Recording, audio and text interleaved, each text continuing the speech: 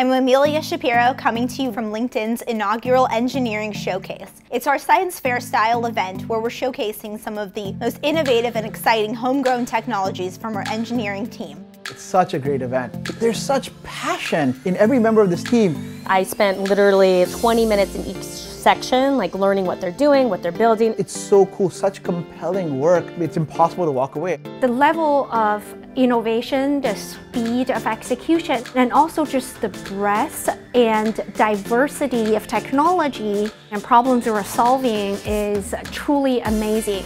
We have projects that are in the hardware space with Open Project 19. We install servers in seconds instead of minutes and hours that it took us before. We can bring up a whole pod at one-tenth of the time. For inferred language, one of the biggest technical challenges is uh, combining different signal to produce the language inferred. Which languages they speak and how confident we are that they speak these languages. You see a bunch of projects out there, actually, Project Dash, Project Galapagos. If you visit a page, just like you visit an island, you want to get to the value of the page. A bunch of projects that have come out of this thinking about how to make our application developers more productive. Wow.